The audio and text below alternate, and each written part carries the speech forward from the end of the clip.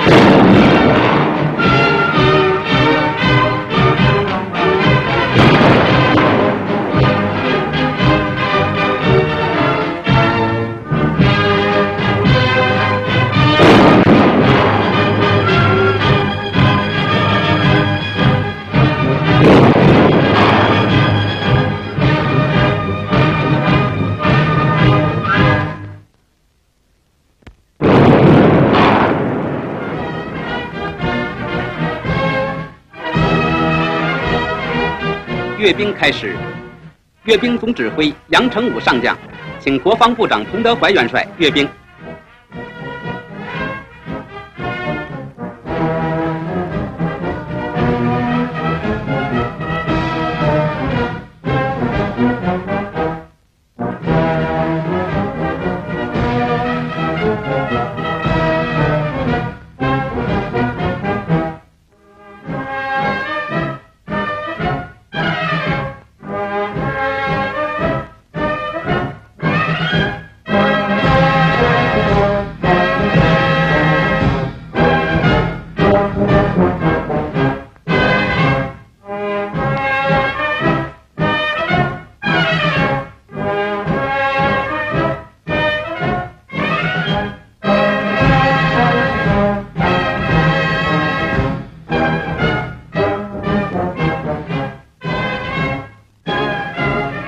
分列式检阅开始，强大的陆海空军部队迈着整齐的步伐走来。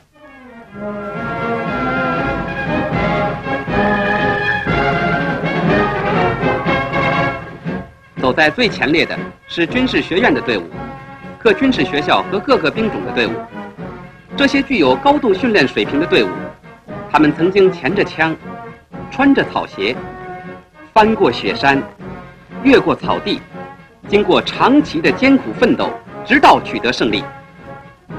为着自由，为着和平，他们曾经付出过巨大的代价。